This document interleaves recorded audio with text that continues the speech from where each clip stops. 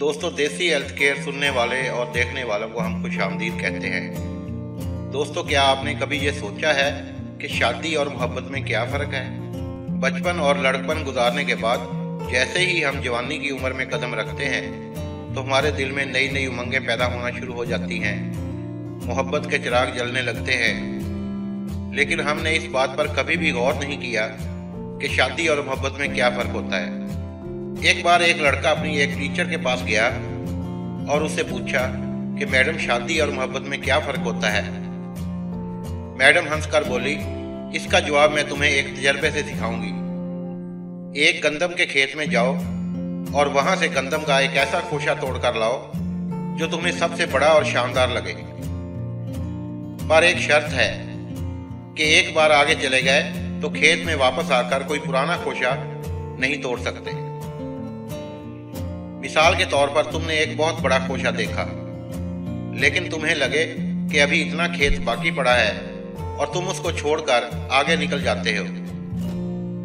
اور آگے جا کر کوئی خوشہ اتنا بڑا تمہیں نہیں ملتا۔ تو اب تم واپس لوٹ کر اس پہلے والے کو نہیں توڑ سکتے۔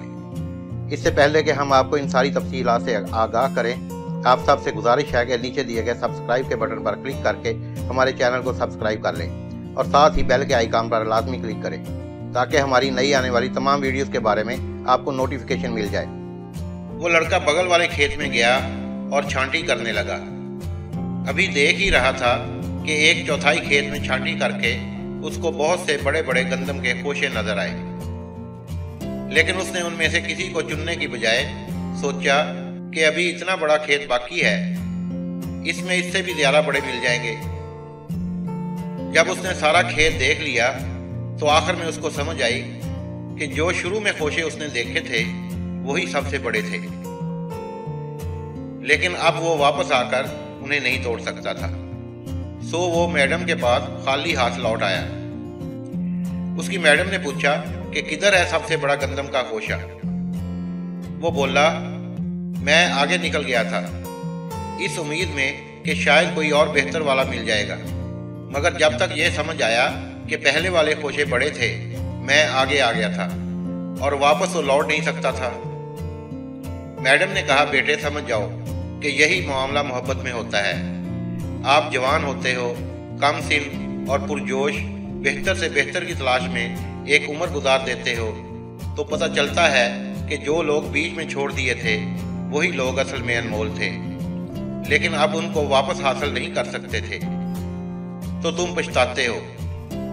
اب ایک کام اور کرو، ساس والے چھلی کے کھیت میں جاؤ اور ادھر سے سب سے بڑی چھلی لے کر آؤ، جو تمہیں مطمئن کر سکتی ہو کہ یہ سب سے بڑی چھلی ہے۔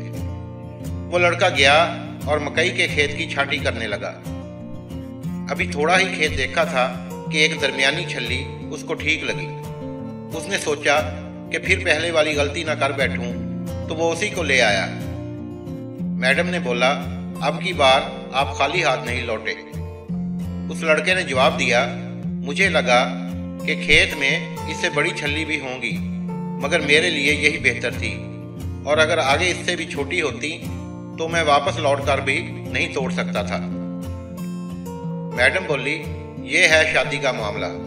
محبت آپ جس سے چاہیں کریں، لیکن جو لڑکی آپ کو ایسی لگے کہ یہ مجھے مطمئن کر رہی ہے اور اس کا سب سے شاندار ہونا ضروری بھی نہیں، وہی آپ کی محبت ہے۔